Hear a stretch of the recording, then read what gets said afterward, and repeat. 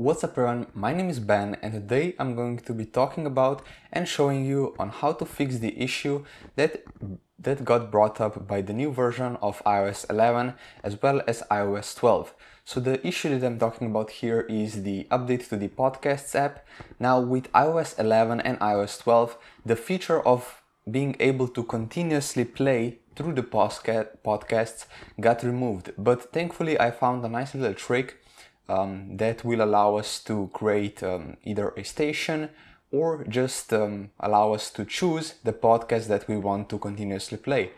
So technically we're getting that uh, feature of continuously playing uh, podcasts back and without further ado, let's jump straight into the video.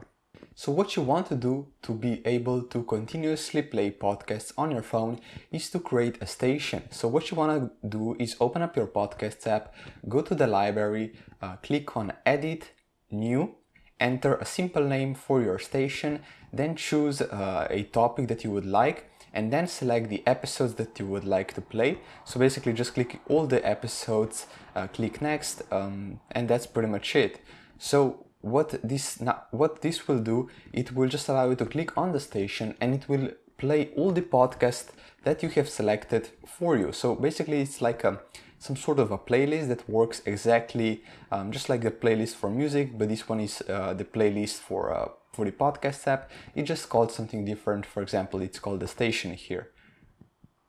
There's also a second option and you might be already familiar with this option.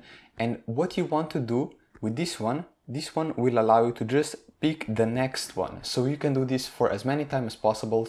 Uh, so let's say you just you're just listening to a podcast and you want to select the net, next podcast to play after this one and then uh, another one after the the next one and so on and so forth. So what you want to do is while you're playing um, a podcast just go to any of the episodes that you would like to add onto the um, let's let's uh, call it next up queue just click the three little dots and uh, you will be asked you will be uh, faced with a bunch of options.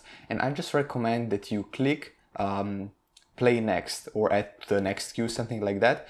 And the episode will be added uh, to the next queue, which means that after the episode that you're currently listening to is over, it will automatically jump over to the next one. So, those, so these are basically two little tricks that you can use to um, bring back the feature that was removed um, in iOS 11 and 12 um, that will allow you to continuously play podcasts. I really hope you guys enjoyed this video and that this solution helped you out. If the solution did help you out, please drop the video a like. And if you have any other solutions, please leave them in the comments down below so other people can benefit from those as well. Anyway, thank you again for watching and I'll see you all next time.